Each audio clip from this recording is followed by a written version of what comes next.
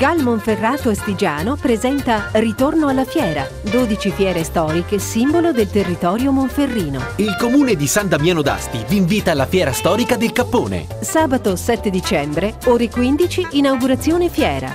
Visite agli allevamenti, mercato del territorio, Concerto del mezzo soprano Maria Rabbione. Domenica 8 dalle ore 10, mostra mercato, visite guidate agli allevamenti, intrattenimenti da piazza. Ore 11, convegno Il Cappone, gusto, arte e musica con Paolo Massobrio. Fino alle 16, animazioni musicali. Lunedì 9 dalle ore 10 prosegue la fiera con la vendita dei capi e la distribuzione gratuita della scodella di brodo di Cappone. Fiera storica del Cappone di San Damiano d'Asti, dal 7 al 9 dicembre.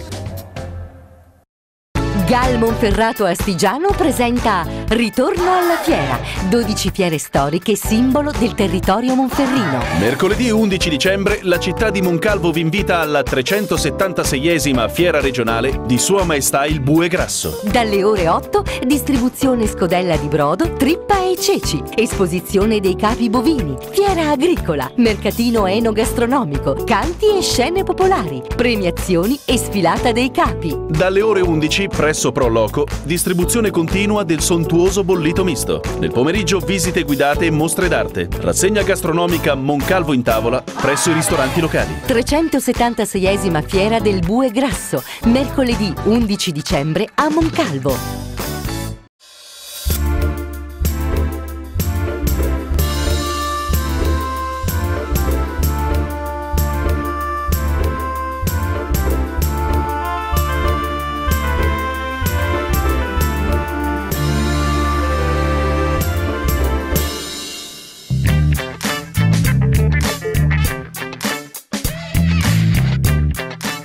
Cari, ben ritrovati con Agri Sapori, il piacere del buon gusto, secondo appuntamento, seconda puntata che vogliamo dedicare all'edizione di quest'anno del Merano Wine Festival festival particolare perché come abbiamo compreso dalla scorsa puntata, se vi ricordate, beh, i produttori non possono partecipare se non dopo un'attenta selezione dei loro vini.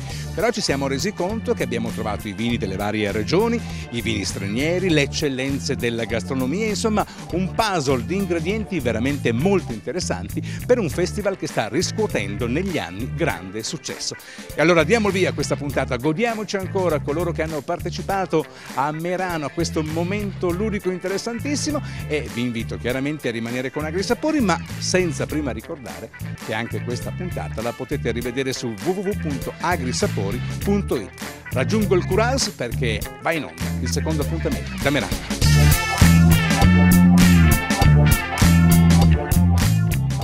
La naso è un vino che la produzione per sua, per sua natura si manifesta già da solo, è un vino comunicativo. Sono con la signora Olga Bussinelli e con Cristian Marchesini, rispettivamente direttrice e presidente del consorzio della Valpolicella. Allora, siamo qui a Merano, beh partirei per cavalleria Cristian con la signora. Merano è una vetrina importante, voi avete una postazione tutta vostra dove regolarmente proponete le degustazioni dei vini del territorio. Dei vini e dei prodotti del territorio. Sì, abbiamo fatto questa scelta di avere diciamo, una visibilità importante perché la, la nostra diciamo, politica di promozione consortile è quella di esportare una qualità di vino e di territorio e un forte legame fra vino e territorio in ambienti e in contesti che certo. siano adeguati. Naturalmente Merano che è una vetrina importante per, perché noi sappiamo tutti che eh, opera una selezione, una selezione, dei prodotti ma anche una selezione del pubblico necessariamente. Certo. Eh, crediamo che sia il punto giusto, la vetrina ideale per poter non solo presentare ma avere anche una, una buona risposta rispetto a questo messaggio che stiamo... Vorrei sottolineare questa selezione del pubblico perché per voi operatori che avete poi chiaramente un obiettivo da raggiungere che è la promozione, ma è anche poi la vendita dei vini sui mercati mondiali. Chiaramente il pubblico interessato è il pubblico che conta. Beh, naturalmente, è un pubblico che conta è in grado anche di comprendere poi quella che è una, la complessità di un territorio come quello della Valpolicella, perché non stiamo parlando di un'area piccola, stiamo parlando di un'area che va dal lago di Garda fin quasi a Montechia di Crosara, eh, coprendo varie latitudini, dalle, dalle, pendici delle montagne fino giù alla pianura e quindi eh, tutto questo determina poi anche una diversità nei prodotti, certo. una complessità e questo pubblico devo dire che in queste giornate ci ha dato grandi soddisfazioni, anche nelle domande che ci hanno fatto, nella curiosità che ha dimostrato, nel desiderio che ha manifestato di venire anche a visitare il nostro territorio, per cui direi che è stata un'esperienza decisamente positiva. Un pubblico che continua dunque a maturare e a crescere. Presidente, abbiamo citato i prodotti, ma che prodotti sono quelli della Valpolicella? Di che vini stiamo parlando? Siamo una denominazione estremamente eterogenea, quindi eh, noi eh, esprimiamo quattro vini, eh, sono il Valpolicella con la sua declinazione anche superiore, il Ripasso che negli ultimi periodi ha ottenuto un successo mondiale, eh, l'Amarone che è il nostro grande vino, la nostra grande potenzialità e il Recioto che è l'espressione dolce del, dell'Amarone. Eh, siamo una denominazione estremamente dinamica, esportiamo oltre l'80% dei nostri prodotti eh, in tutto il mondo, soprattutto nei paesi nordici, cioè Canada, Stati Uniti eh, e Nord, Nord, Europa, ma adesso siamo in grado anche di essere presenti in sud-est asiatico, Cina e persino in, in Sud Corea, quindi un grande successo dell'intera denominazione. Numeri importanti, numeri di 60 milioni di bottiglie eh, prodotte negli ultimi due o tre tre anni. Non resta che farvi chiaramente i complimenti, ma completiamo dicendo anche che cosa fa, come lavora, come si muove, come opera il Consorzio.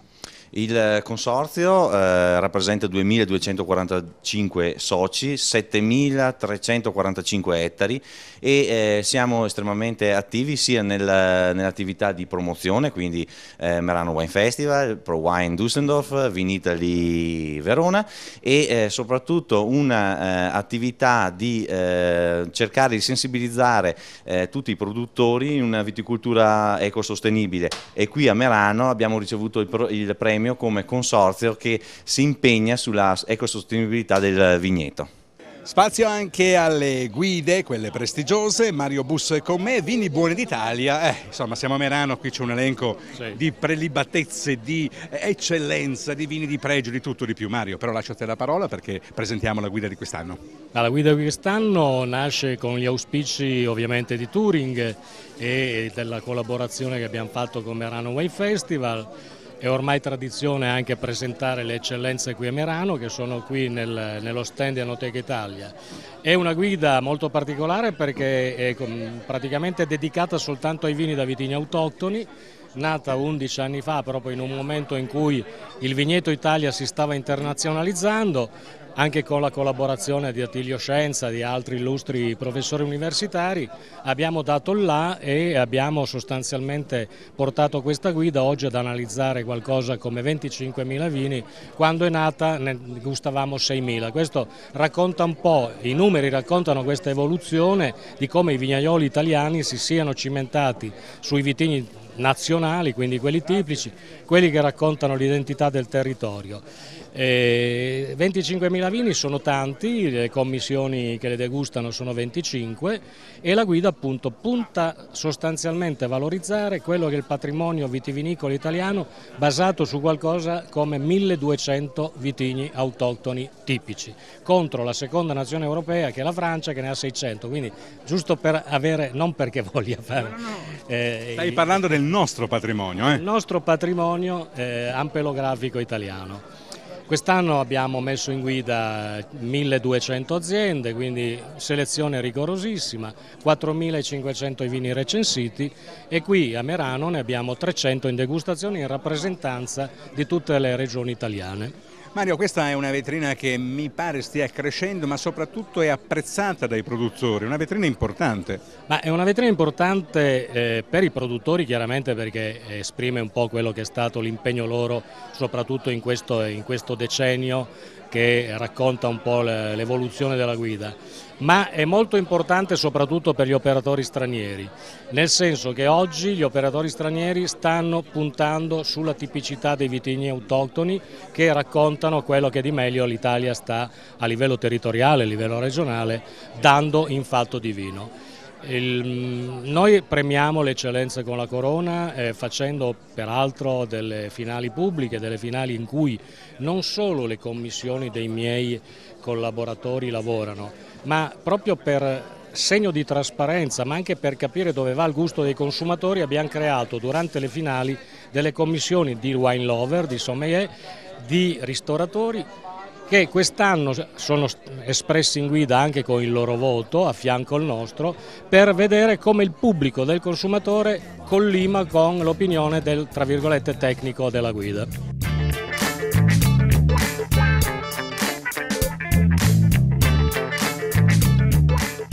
Questa sera vi parlo di questa birra. È una miscela tra vino e birra. Non è vero, non esiste miscela. Il Merano Wine Festival significa anche birra, ottima birra. Sono ben 12 birrifici italiani presenti. Io sono con Antonio Cesaro, che è un mastro birraio ed ambasciatore della birra Forst. Birra che propone una grande novità proprio in occasione del festival. Però Antonio, è lei che deve spiegare che cosa avete pensato e come l'avete realizzata. Beh, in effetti sta diventando una tradizione. L'anno scorso eh, al mio presidente o alla mia presidente eh, proprio per un moto di ringraziamento per il dottor Kecher, per tutto quello che in vent'anni è riuscito a costruire, eh, una, volevamo fargli un omaggio. Quest'anno cosa abbiamo pensato? Abbiamo pensato che birra e vino non sono in antitesi fra di loro, ma sono paralleli. Quindi al, nostro, al mio mastro birraio, ormai eh, devo dire così, Christian Pirker si chiama, gli è venuto in mente di dire va bene, facciamo una birra eh, fermentata in una botte di Lagrein. Ah, perciò di un grande vino del territorio. Come un grande, è chiaro, perché certo. restiamo a giocare in casa, la forza è in Alto Atesina, certo. quindi dovevamo prendere un vino Alto Atesino. Eh, è stata fatta una ricetta particolare con dei malti speciali veramente ricercati, poi il mosto di birra è stato messo in questa botte che aveva contenuto la grain, quindi vino la grain, e iniziata la fermentazione con lievito del vino, non lievito di birra. Poi, chiaramente rimanendo nella botte, non avevamo la possibilità di eh, regolare l'anidride carbonica, mm -hmm. o è troppo o è troppo poca. Per cui è stata aggiunta una piccola quantità di una birra a doppio malto che noi facciamo, sempre del mosto, però mai di birra finita, eh, in modo da riattivare la fermentazione. Riattivata la fermentazione abbiamo scelto un tipo di bottiglie particolari e tutto questo discorso non è stato da oggi a domani, ma ha durato, è durato più di quattro mesi. Perciò vedete come a volte a raccontarlo occorrono pochi secondi, ma in realtà c'è un lungo lavoro alle spalle. Però Antonio, ora sono curioso, che birra abbiamo ottenuto? Beh, abbiamo ottenuto la birra dal colore scuro, moderatamente eh, amara, eh, ha un grado alcolico abbastanza sostenuto, sui 7 gradi alcolici, e ha un abboccato che richiama molto il tostato, che richiama molto il caramello, ma eh, anche delle, noti, delle, note abbastanza dolci di nocciola e così. Quello viene dai vari tipi di malto che abbiamo utilizzato. Suppongo che parliamo di una produzione limitata. No, lei suppone bene, sono 75 bottiglie che questa sera eh, spariranno. Allora noi saremo dei fortunati. Sì, penso di sì, almeno dei, dei, curiosi e fortunati a essere arrivati al momento giusto nel posto giusto, perché da domani questa birra sparirà così la, come la ricetta Obama è sparita. Questa etichetta non esiste, è stata fatta apposta ed è stata fatta dalla signora Celina von Manstein, che è la figlia del, dell'amministratore delegato, quindi del proprietario della birra Forst, è proprio un'etichetta particolare per una birra particolare. Vede, eh, qui vorrei sottolineare, tutta questa uh, attività che abbiamo fatto non ha nulla di commerciale, non ci interessa questa birra come commerciale così, ci interessa soltanto dimostrare al Wine Festival quanto apprezzamento anche la gente del territorio dovrebbe avere per queste persone che veramente tutto l'anno lavorano per questi tre giorni. Bene, noi abbiamo così anche avuto il piacere di avere un momento particolare nel nostro programma dedicato a questo connubio bello, fraterno tra il mondo del vino e il mondo della birra. Grazie ancora Antonio, vi invito a rimanere naturalmente con Agri Sapori.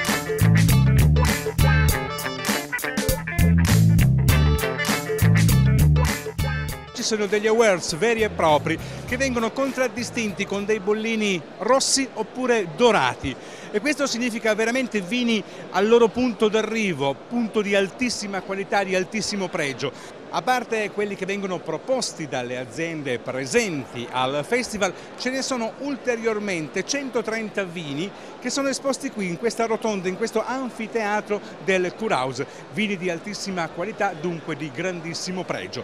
Abbandoniamo però momentaneamente l'area, o meglio le aree dedicate ai vini e spostiamoci perché c'è anche la gastronomia d'eccellenza, una vera e propria gourmet arena.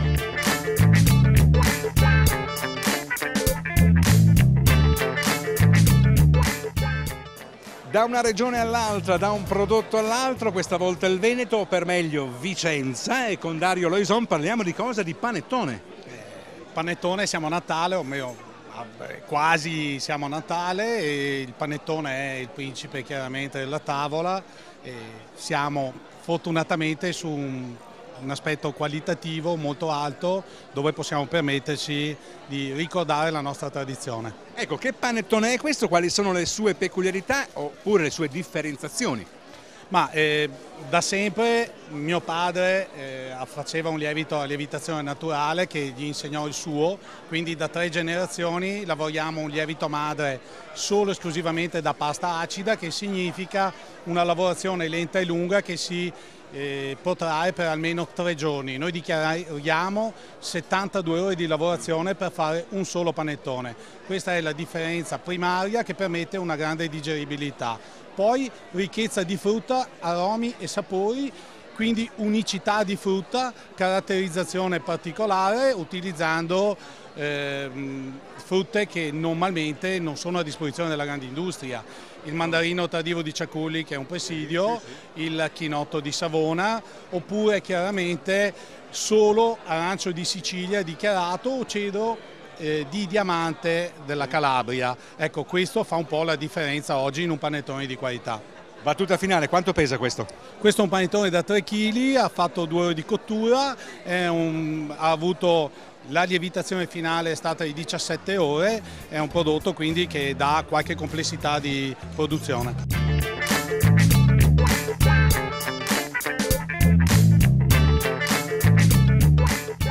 Le grandi specialità all'Arena Gourmet, Annalisa Sassi, dico bene? Parma, il prosciutto. Sì, eh. il prosciutto di Parma non poteva non partecipare a questa manifestazione, noi abbiamo colto questa occasione perché effettivamente il prosciutto crudo insieme ai grandi vini si sposa benissimo, quindi eh, non potevamo mancare. Ma eh, del Parma ne parliamo in tante occasioni, ormai lo conosciamo, sappiamo che è un prodotto amato in tutto il mondo, però in sostanza che cos'ha di diverso il Parma da, da, un altro prosciutto? So che è banale come domanda, però c'è veramente un qualcosa che è differente? Beh, sicuramente la carne, la materia prima, il suino italiano di 165 kg, 9 mesi fanno la differenza, quindi partendo da una materia prima selezionata e che si differenzia dal panorama della carne suinicola europea eh, a tutti i livelli, eh, arriviamo ad un prodotto che è affinato nel modo più dire, delicato possibile, eh, quindi le stagionature lunghe, non invasive, quindi manteniamo il più possibile la fragranza con in più il gusto della stagionatura.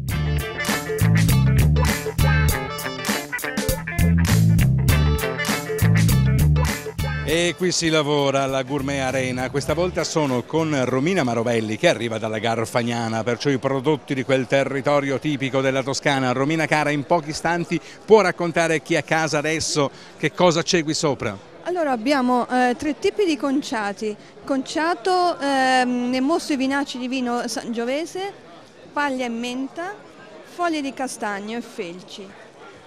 Però parliamo di formaggi a latte? Eh, questo tutto latte non crudo, eh, pastorizzato. Queste la stagionature partono tutto da sei mesi.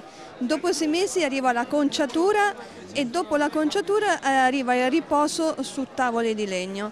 Dopo sono pronti per l'imballaggio e la spedizione. Di quale latte però stiamo parlando? Latte di pecora. Perfetto, invece qui abbiamo qualcosa di più fresco. Sì, qui è un formaggio, è un baciolo. Un baciolo questo è un baciolo, è il, mm, il formaggio di mucca in crosso fiorita. In crosso fiorita è baciolo perché? Baciolo è un bacio diventato formaggio perché è un termine dialettale che eh, mio nonno ehm, dedicava a mia nonna, Eh, Pa- praticamente per dargli un bacio, per, per dargli noia praticamente. Hai visto quante cose belle si scoprono? Che sapori hanno i formaggi della Garfagnana? Allora, questi sono formaggi abbastanza eh, sostenuti perché il latte di pecora partono, partono da sei mesi di stagionatura, dopodiché hanno l'aroma, eh, del, il sapore, l'aroma della, eh, Della vinaccia. vinaccia. L'alchimia di questo formaggio è che la vinaccia, il mosto, non intacca dentro alla Certo. pasta, rimane fuori e questa è la parte Più interessante. Invece là che si parlava di menta, è ancora più interessante, più al- alchimista, perché eh, questa è paglia e menta.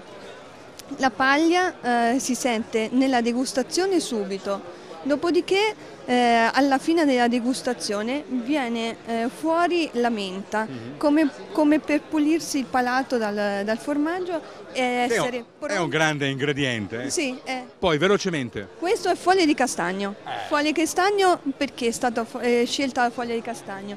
Perché è abbinare il formaggio, la produzione nostra, al territorio. Infatti da quelle parti insomma la castagna quanto è stata importante per secoli, era il pane. E qui il bacio del nonno? Il bacio del nonno è il latte di mucca, è molto cremoso, molto dolce, molto burroso, molto cremoso e poi si sfa in bocca come un bacio che si sfa in bocca.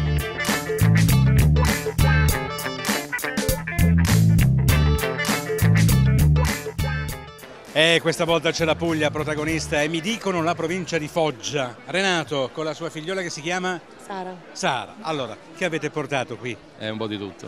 Eh, questa provincia che ha dei sapori meravigliosi. C'è questa oliva che se non sbaglio questa è la, è la bella della Daunia. Sì, sì, Eh? è vero. Però noi produciamo, diciamo, la, la peranzana a Sanza Vita. Dai, raccontami, Sì. dai, parla. Eh, La peranzana è una è circoscritta, cioè vive soltanto diciamo, a San Severo, un pochino a Torre Maggiore, un pochino a San Paolo, cioè è un, è un triangolo. Senti, poi là si sono già mangiati tutto, ma cosa, c'è ancora? Un po' di pomodori, melanzane, cosa c'è? Ma noi diciamo, diciamo, trasformiamo tutto, nel senso noi facciamo la cosiddetta diversificazione di produzione, cioè produciamo le nostre uve, facciamo i nostri vini e poi dai vini facciamo degli acidi naturali che noi come agriturismo possiamo diciamo, poi dopo produrre tutti diciamo, le, le, le- Siete un vero agriturismo. Eh sì, diciamo produciamo e poi trasformiamo. E, Senti. E, e- e con l'olio poi dopo il completamento, perché per fare dei prodotti di qualità ci vuole l'olio extra. Lascio papà Renato, parlo con eh, Sara. C'è un qualche cosa di speciale? Una... Eh, che c'è? Beh, noi produciamo anche la salicornia, che è una verdura selvatica che cresce spontaneamente vicino ai laghi. Questa viene sbollentata e quindi va a eliminare il sale e poi lavorata in olio aceto è definita nel gergo locale un asparago di mare. Esatto. E questa si abbina benissimamente con dei piatti sia di pesce che di carne. Hai perfettamente, hai perfettamente ragione perché io l'ho conosciuta con degli chef pugliesi proprio durante dei momenti in cucina. Grazie Sara. Di Ciao. niente. Ciao. Grazie. Buongiorno e ben arrivati per questo assaggio di Toscana, appunto come vi stavo dicendo siamo ormai alla seconda generazione, siamo dai primi anni 70 che abbiamo il ristorante, c'erano. Ho Natascia Sant'Andrea qui con me, la tenda rossa celebre ristorante toscano. Quest'oggi voi in scena con un piatto della tradizione con tanti ingredienti che hanno toccato più province della Toscana. Sì, infatti abbiamo cercato appunto di fare in questo piatto un concentrato di Toscana. Abbiamo usato per la sfoglia una farina, siamo a Podere Forte, quindi nella zona del Senese. Riguardo al ripieno sono dei fagioli che vengono dalla Lucchesia, sono i fagioli rossi e anche un presidio slow food. Per quanto riguarda il ragù abbiamo fatto un ragù di osso buco, quindi altissima e super tradizione toscana e abbiamo usato come carne il manzo di razza calvana e quindi siamo nella zona tra Firenze e Prato e non è finita qua. Nel ristretto di vino abbiamo usato un vino della zona bolgherese. Insomma avete fatto un mix vero e proprio, toccando come dicevo prima diverse province. Beh, arrivare dalla Toscana, cucinare velocemente, poi ripartire, fate un po' come gli artisti no? che fate le tournée. Vabbè, il buon cibo e il buon vino veramente aiuta tantissimo a fare una vita sana e questo è quello che proponiamo ai nostri clienti, ma lo facciamo anche noi. Che momento sta vivendo la ristorazione, quella importante? Beh, lì tocchiamo una nota un po' dura, diciamo così, ma credo non solo la ristorazione importante, ma la ristorazione in generale, eh, che è tutta importante, da chi prepara un buon panino a chi prepara un buon piatto di spaghetti, chi una buona pizza e chi un piatto magari con degli ingredienti più raffinati. Purtroppo molto spesso ecco, eh, si rischia ecco, di avere delle difficoltà quello è vero. Mancano un po' di clienti e anche un po' di turismo purtroppo. Ecco, no, questa è una nota importante perché dobbiamo andare a stimolare chi di dovere proprio per ricordare che il nostro è un paese che dovrebbe essere principe del turismo, allora dobbiamo lavorarci. Ultima battuta, questa invece è una bella vetrina. È fantastica, è bellissima, oltretutto divertentissima, mi trovo molto bene a Merano ed è un luogo dove posso incontrare un sacco di amici produttori che è la, una delle mie grandi passioni, veramente cucina e cibo, insomma, e vino. E buon vino. Eh, eh. sì. Dopo i grandi vini e il gran cibo, lo star bene a tavola, dobbiamo però coccolarci con un buon distillato. Perché no, una grappa? Cristina Nonino, le grappe presenti a Milano. Oggi infatti presentiamo degli straordinari, una selezione meravigliosa di monovitigni, in particolare nel nostro caso è possibile, cambiando la tipologia di grappa monovitigno, trovare delle caratteristiche organolettiche profondamente diverse e quindi c'è la possibilità veramente di scegliere la grappa monovitigno che più si addice al dolce che vogliamo degustare, allo stato d'animo, al momento. Ne approfitto qualche istante perché io noto così quando si è con gli amici che non sempre c'è la cultura giusta per capire quando beviamo una buona grappa, a che cosa dobbiamo fare attenzione? Beh, sicuramente è molto importante imparare a leggere le etichette, ma a parte appunto la capacità di leggere l'etichetta è molto importante degustare in un bicchiere, io oggi non ho il bicchiere ideale. Siamo in fiera, siamo, in, uno, in, fiera, in, un festival. Ma l'ideale è un bicchiere aperto che permetta l'ossigenazione del distillato, tipo il flute da spumante, anche i grandi distillati hanno bisogno di essere in contatto con l'ossigeno per sprigionare le, le proprie caratteristiche.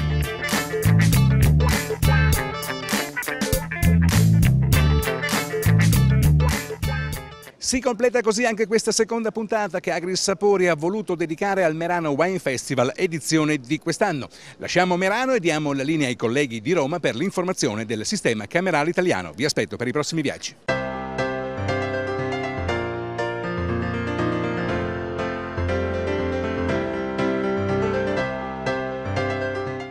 Scommettere sulla green economy servirà a superare la crisi e darà al Paese un futuro di stabilità. A dirlo sono i numeri del rapporto Union Camere Simbola Green Italy 2013, secondo il quale dall'inizio della crisi oltre un'impresa su cinque ha investito nell'economia verde, creando 3 milioni di lavoro per un totale di oltre 100 miliardi di euro di valore aggiunto. La green economy è una grande opportunità per il Paese. È una grande opportunità perché i dati che eh, si evincono da chi ha saputo utilizzare questo processo di innovazione culturale, non solo economica, sta, dando, sta avendo buoni risultati. Un'impresa di quel mondo lì cresce di più degli altri, occupa il doppio degli altri, esporta il doppio degli altri, quindi vuol dire che è una scelta intelligente, quella di rispettare l'ambiente, rispettare con le nuove componenti che servono per fare impresa ed avere gli strumenti nuovi per poter meglio competere nel mondo. Quindi le imprese italiane che in questa direzione hanno saputo trasformarsi in questi anni, sono circa 300.000, hanno scelto una strada perlomeno intelligente, forse nemmeno senza saperlo, ma hanno scelto la strada della green economy e proprio per questo oggi sono protagonisti sul mercato globale. Le donne reagiscono alla crisi creando nuove imprese nel terziario. Su circa 6.000 realtà nate in 12 mesi, 4.000 sono rosa, concentrate per oltre la metà nel centro Italia. A dirlo sono i dati dell'Osservatorio dell'imprenditoria femminile di Union Camere e Infocamere che fotografa un mondo sceso in campo per darsi da solo quel lavoro che non trova, facendo bene al sistema paese. Turismo, ristorazione, enogastronomia, made in Italy artigianale, servizi finanziari, i settori più gettonati dalle imprenditrici che prediligono come forma giuridica la società di capitale cresciuta del 4,5% a scapito della più semplice impresa individuale. Roma è la città con il più elevato numero di imprese femminili, seguita da Napoli e Milano.